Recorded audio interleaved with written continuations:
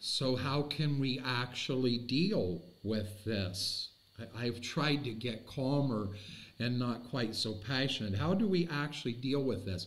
If we claim to be filled with the Holy Spirit, sanctified, mature, and we are filled with fear, we're lying to ourselves. We are absolutely lying to ourselves if we are filled with fear.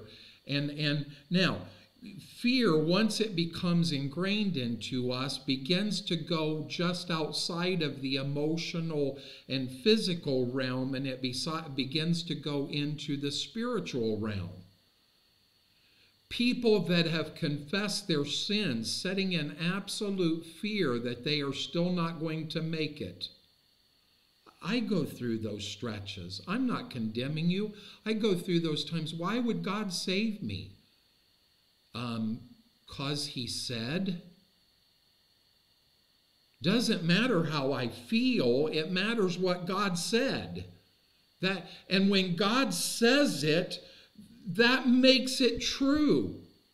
See, the devil begins to, well, look at your failures. We have fear of failure. We have fear of rejection. We already talked about that. Eh, but because of that fear of failure, we, we begin to look at ourselves and say, well, I'm never going to be good enough. Well, settle that in yourself. You're never going to be good enough. You will never be good enough to make it to heaven. So, how are you going to make it to heaven? Because God says. If you confess your sins, he will forgive your sins and cleanse you from all unrighteousness. If you will open the door, he will come in and he will fellowship with you. That's God says that.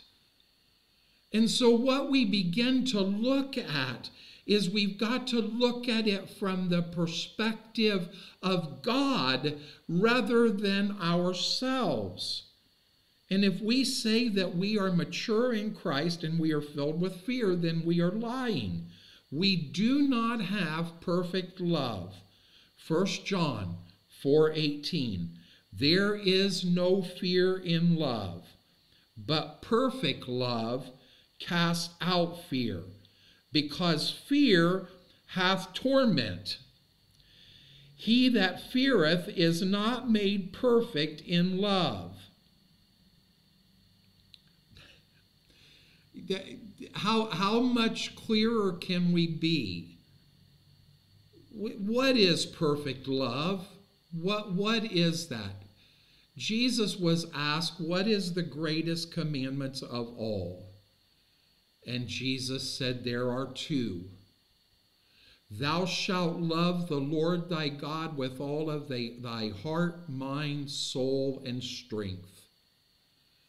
And the second is like it Thou shalt love thy neighbor as thyself. See, what we do so often, even in Christian music and so called worship, we, we talk about love, but it isn't love that we're talking about. Love can display itself in many different ways. And all this, oh, I love you, I love you, I love you, is not perfect love. And that's why we've lost this because we've got this attitude well, Christ loves us so we can live however we want to. Hogwash. I didn't say it loud, Dad. Hogwash. That has nothing to do with love. But perfect love casts out fear because fear has torment.